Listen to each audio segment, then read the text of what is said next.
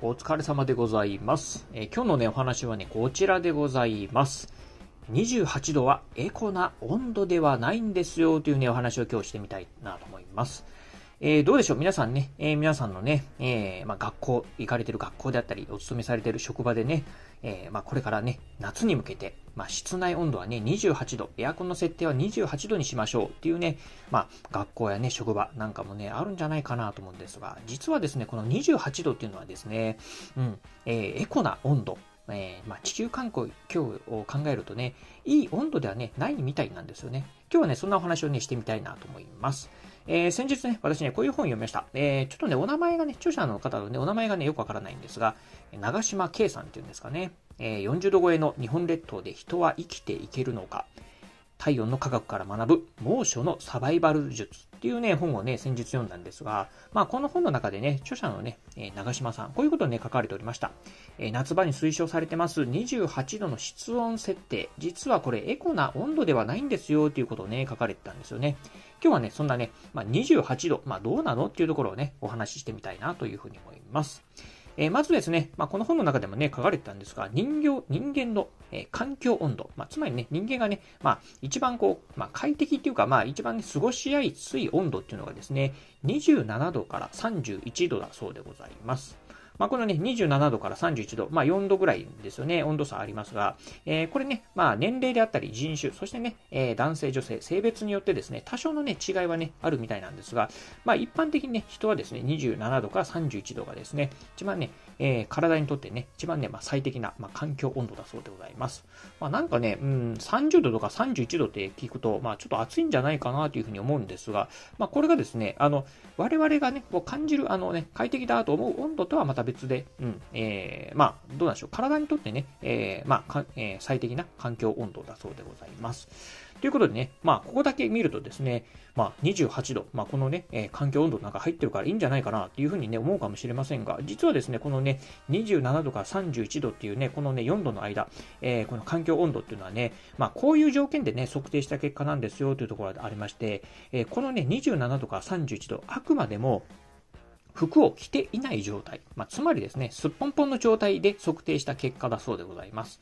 まあ、当然ながらね、我々ね、まあ、えー、服を着てね、生活しております。まあ、えー、まあ、家の中ではね、えー、全裸っていう方もね、いらっしゃるかもしれませんが、当然ながら、まあね、うん、学校行ったりですね、まあ仕事、まあ職場、会社に行ったりするときにはね、ちょうどながら服を着てるかと思いますんで、まあ、えー、服を着た状態だとですね、つまりですね、まあ当然ながらね、衣類をまとうと、環境温度っていうのはね、もっとね、下がってくるかなっていうふうなところですよね。なので、まあこの28度っていうのは、まあ確かにこの27度から28度、まあ人間の環境温度としてはいいんですけど、あくまでも、まあすっぽんぽん、まあ裸の状態での測定した結果なのので、まあ服を着た状態っていうのを考えるとですね、もう少し低い方がいいんじゃないかなということはね、えー、この本の中でも書かれておりました。でですね、これね、実際に、まあ実、まあ、実証ではないんですけど、やはりね、えー、具体的なね、えー、まあ、実際にそういう効果がね、出てますよ。えー、検証結果として出てますよっていうね、えー、まあ、新聞記事をね、ちょっと私もね、発見したのでね、ご紹介するとですね、えー、これね、朝日新聞デジタルのね、今からね、2年ぐらい前のね、記事なんですが、こんな記事が出ておりました。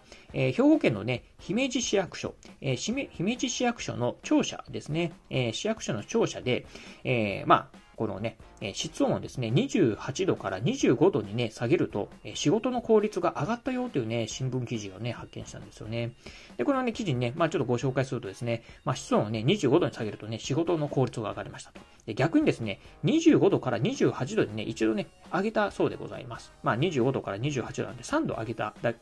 上げたそうなんですが、実はこれ上げるとですね、まあ、えー、まあ、1平方メートルあたりで72円の節電にはなったそうです。まあ、当然そうですよね。まあ、エアコンの温度が3度上がればですね、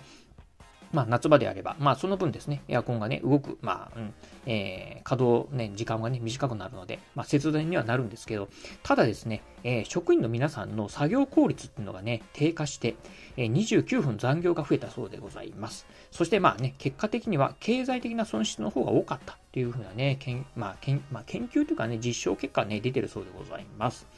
まあね、えー、まあ節電、まあ3度ね、室温温度を28度に上げるとね、節電にはなるんですけど、ただ、えー、職員の方、まあやはりね、こう28度だとね、まあちょっとね、不快に感じるんでしょうね。そういうところでね、作業効率がまあ低下して、まあ結局ね、えー、まあ30分のね、残業、まあ約30分の残業になると。で30分のね、残業になると当然ながらね、エアコンは動、えー、まあね、えー、まあ、入れますし、そしてね、まあ、パソコンとかね、電気機器、いろんな電子機器なんかもね、まあ、コピー機とかね、そういったものも、プリンターとかもね、使えますよね。そういったところを考えると、結局ね、まあ、えー、節電っていうところをも、うん、繋がらないんじゃないかなと。トータルで見ると、経済的な損失の方が大きくなるんじゃないかな、ということはね、出てたんですよね。うん。まあ、つまり、まあね、えー、今日のね、冒頭のタイトルに戻りますが、28度っていうのはね、エコな温度ではね、実はないんだよっていうところがね、うん、あるんじゃないかなということでございます。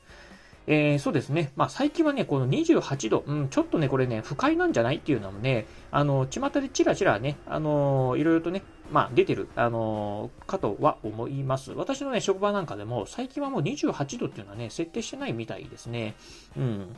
あの、確かね、産業医の先生方が28度なんかね、あの、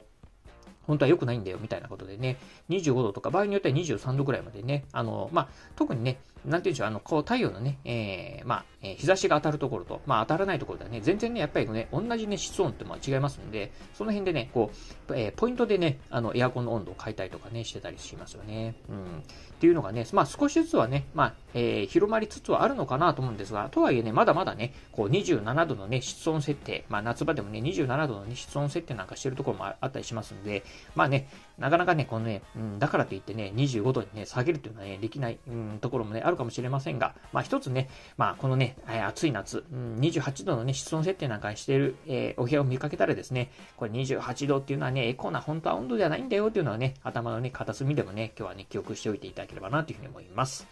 はい、ということで今日はですね、28度はエコな温度ではないんですよっていうお話をしてみました。えー、今日のお話面白かったなと思いましたらですね、ぜひ高評価、またね、チャンネル登録まだの方ですね、ぜひチャンネル登録の方よろしくお願いいたします。